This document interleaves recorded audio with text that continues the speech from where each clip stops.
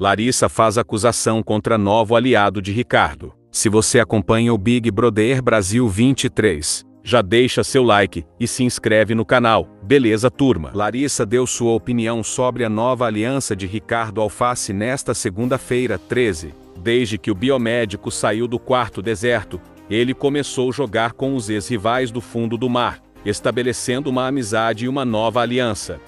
Para ela, o Pipoca é tirado de chacota pelos broders do quarto marinho, principalmente por Cesar Black. Para mim, o Black tirou ele de chacota, no jogo da discórdia. Tipo, ah, louco, e ele está lá, começou ela. Mesmo que o deserto também já tenha feito zoações com Ricardo, Larissa apontou, as pessoas lá no fundo do mar já fizeram ele de chacota. E no quarto, todo mundo faz brincadeira um com o outro. Mas quando a gente ri, a gente acha que está tudo bem.